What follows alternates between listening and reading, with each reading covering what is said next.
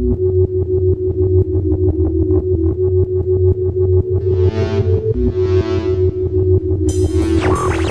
called The Big Ask, and it's fronted by a friend of the Earth, Nelson Thom Yorke from Radiohead. I speak to Thom now. What are you hoping uh, to achieve here?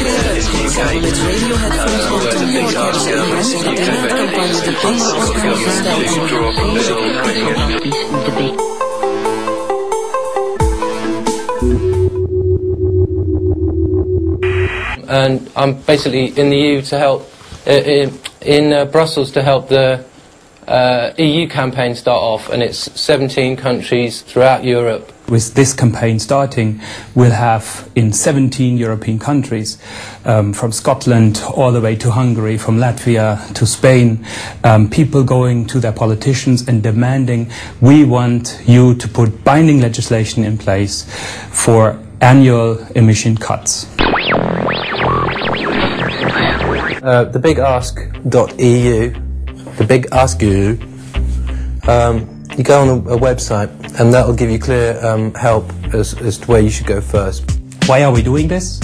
Um, because we're actually experiencing that there's a lot of talk about climate change, but nobody is doing it.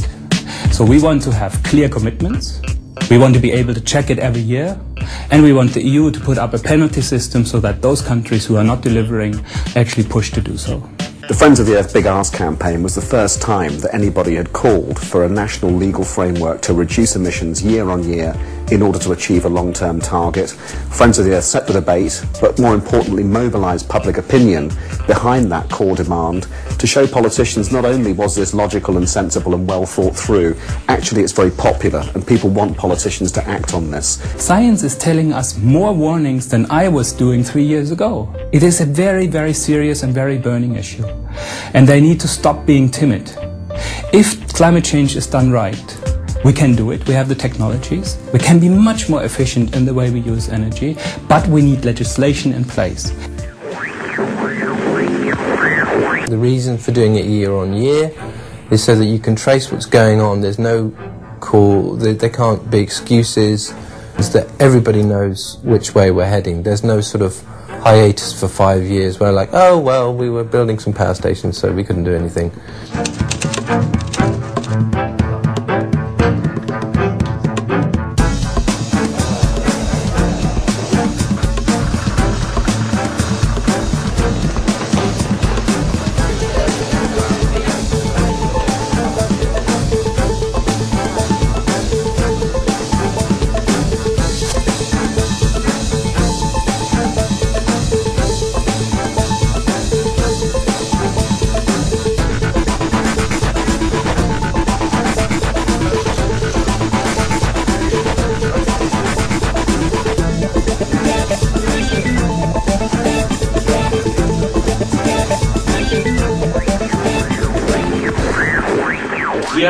One simple big question, the big ask, and that is what are our governments, what's the European Union actually doing? Friends of Europe um, is starting today this campaign in 17 different countries. We'll be demanding from national governments and the European unions to commit to binding annual reductions for CO2 and greenhouse gas emissions. And that's why we want clear commitments. We want to be able to check them on a yearly basis, not in 10 years and then all waking up, oop, it didn't work. And we want a penalty system in place on the European Union's level, which um, allows us to push the countries who haven't done their job yet. And we have a moral responsibility, each and every one of us, to, to not just to do stuff on our own because that's not good enough. We have a moral responsibility to turn around and change the way we live. And the only way we're ever going to change the way we live is to get our governments to rewrite rules, gradually make us change. I personally think that you can't sustain yourself throughout a day feeling like that. You can't look your child in the eye and think, there's nothing I can do. I'm sorry, kids. You know, um, I, I, think that you have to retain hope, and I think that um, amazingly, something as simple as asking your government to um, sign up to a law that both citizens and business have to commit to, that everybody understands where they're going, everybody understands the direction. All of this must lead to at least 30% greenhouse gas emission reductions until 2020, and they have to be done domestically. The climate change challenge, if approached in the right way, in a planned way with clear laws, is about gaining enormous social and economic benefits. Benefits in the form of warmer homes, greater mobility, lower fuel bills, cleaner air, nicer food, stronger communities, millions of new jobs, and a huge new economic opportunity. All of that can come from a planned, clear, long-term response, and that's what the Big Ask campaign is all about, is about putting in place the mandate for Europe to take this huge opportunity for global leadership and avoiding the worst consequences of global warming.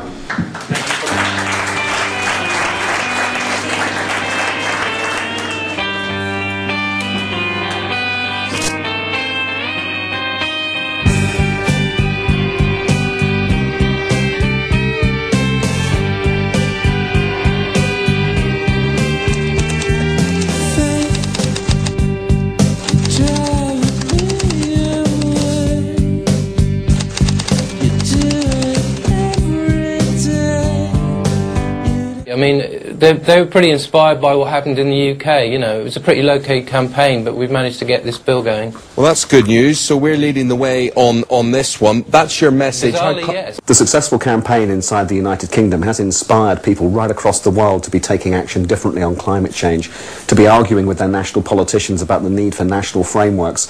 And we've now got 17 Friends of the Earth groups right across the European Union now taking up the same kind of challenge that we had in the UK to Well, the example of the Big Ask campaign in England, Wales and Northern Ireland, where we now have actually a piece of legislation in the parliament that would oblige the country to do every year 3% CO2 emission cuts, shows very clearly that an individual can do a lot. It was 100,000 people, real people, calling up their parliamentarians, writing letters, being out on the street that made that possible. The other thing you have to remember is a lot of MPs throughout Europe, just like the UK, would love to do something about this, but they are constantly harangued and harassed by uh, lobbyists from industry um, who don't want it to happen, want it watered down, want to carry on the way it is. And the truth is, we can't carry on the way it is, and it's only you and me that are able to tell politicians that it can't carry on the way it is.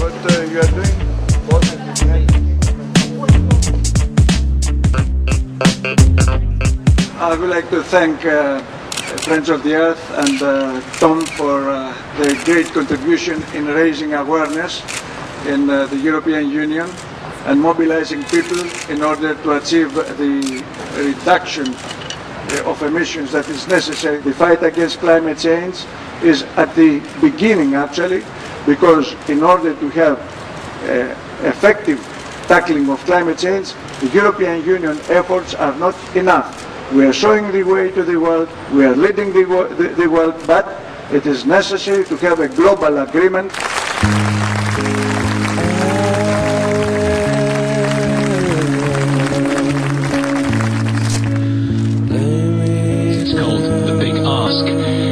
fronted by a friend of the Earth, Thom Yorke from Radiohead. Good. What are you hoping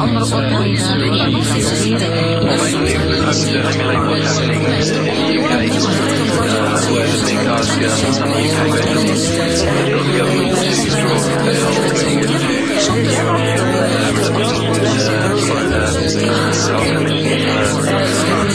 uh, ahead and make um, basically Europe a constraint.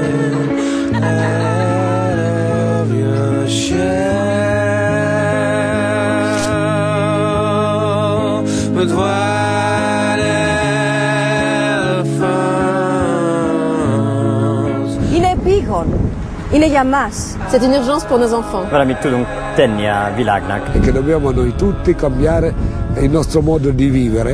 Juntos podemos salvar o nosso planeta. C'est une urgence. Nous devons tous contribuer à la sauvegarde de la planète. This is for all of us. Edhe në rast parë qeverive për kasë të gjitha vendeve të botës, Bashkimi Evropian, Shtetet Bashkuara të Amerikës, të Kinës dhe vendeve të tjera. Μπορούμε να αλλάξουμε το πλανήτη μας. C'est une urgence pour nous tous. Nous pouvons sauver la planète. Nous pouvons changer notre monde.